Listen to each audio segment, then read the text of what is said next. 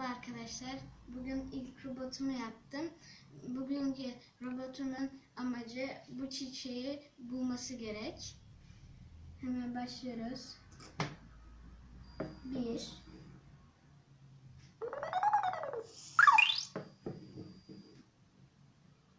İki. Üç. Dört.